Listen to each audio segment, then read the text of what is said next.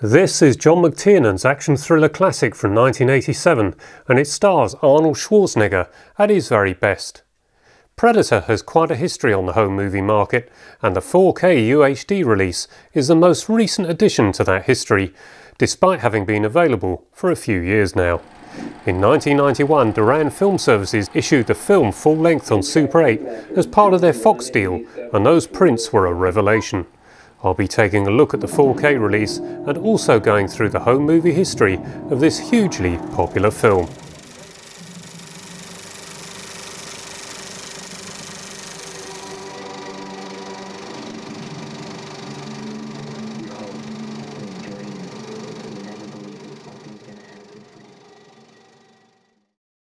Predator was a big hit in 1987. It had an estimated budget of $15 million and has taken $98 million at the worldwide box office. It has an aspect ratio of 185 to 1 and runs for an hour and 47 minutes. It was shot on 35mm, but there were apparently some 68mm sequences too. That's a film format I've not come across before, perhaps being confused with 65mm, but presumably it was utilised for some special effects to minimise image degradation when optically combined to be seamlessly inserted into the finished picture. There were 70mm blow-up prints for the top cinemas, as well as standard 35mm prints. For those of us who hadn't seen Predator in a cinema, the first opportunity we had to see the film was on VHS tape, and it introduced us to a new type of alien film, quite unlike anything seen before, but evidently taking little inspiration from John Carpenter's The Thing just a few years before, and Ridley Scott's Alien just a few years before that. The film was issued on Laserdisc, but I never purchased a copy on Laserdisc because of that 1991 Super 8 release. I believe this particular print is from the first print run, which is always best owing to the negative being new. They were struck by Buck Film Labs, and with this title and a few others, including another Arnie film, Commando, 8mm print quality reached new heights. Predator remains one of the best ever Super 8 prints to this day. There are some minor inevitable Super 8 foibles, such as a bit of movement at times, but this is probably unavoidable from such a small film gauge. Overall though, the quality really did put home movies in a different class for those of us fortunate enough to have a home cinema in those days. The stereo sound on the magnetic stripes was very good too, though not up to the standard of hi-fi VHS, but this did mean that with the right equipment we could synchronise the Super 8 print for the best available big screen imagery along with the best available sound from the hi-fi VHS. And this would be improved further later on when the DVD was issued, and that had a new 5.1 DTS soundtrack to synchronise to the Super 8 prints. Yes, we could now play at being the Empire Leicester Square in the home. I always used a master Super 8 print to give around a 1.66 to 1 aspect ratio, but I'm not really equipped for Super 8 here yet, and so I'm projecting full frame. As a result, some of the Predator heat vision shots do clearly show that there were mats in the camera, but not for every one of those shots. Even then though, the frame ratio is taller than that of the 4K or Blu-ray, so if you do ever see a Super 8 print, you might be seeing parts of Predator you've never actually seen before. The theatrical trailer was also issued on Super 8 and this too looked very good. I used to collect just about all the trailers that were released on Super 8 and made them up into trailer collections on 400 foot and 600 foot reels along with day sets from the likes of Odeon Cinemas to give each show a more authentic cinema feeling. A 400 foot reel would run for up to 20 minutes and a 600 foot for up to half an hour. Those were the days, but I do still run all those reels occasionally today. I never actually watched the DVD as I have only ever utilised it for the sound for an enhanced Super 8 screening, and that is largely why I didn't feel the need to purchase the 4K UHD Blu-ray when it first came out. Since then, so many subscribers have asked me for my opinion of it that I finally thought that it might be quite fun to review it and also to go back and look at the past home movie releases. It has also given me the chance to take a look at the Blu-ray, which is quite notorious for being one of those releases where excessive digital noise reduction was applied. It is rather horrible, but I wonder if some younger viewers might actually rather like it.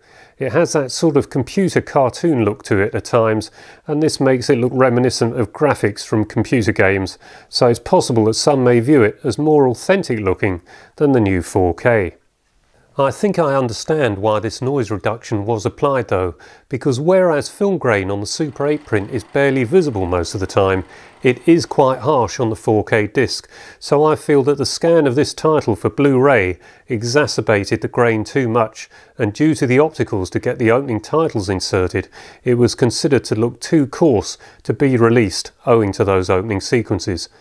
If the noise reduction had been applied more moderately, then it might have worked, but as it is, it's easy to see why it generated such a bad reaction. Clearly a lesson had been learned, but now the film grain might be a little too distracting at times on the 4K disc. Having said that, the overall print quality is pretty good. At times it looks exceptional, but a lot of the time there is too much evident grain for the image to be quite as good as it possibly should be. This may be the result of the scanner that carried out the task in 2018, and perhaps a better machine today will produce a superior result, but it may also be due to the film stock that was used back in 1987, because it's the darker sequences that suffer the most, whereas many of the daylight sequences look fabulous.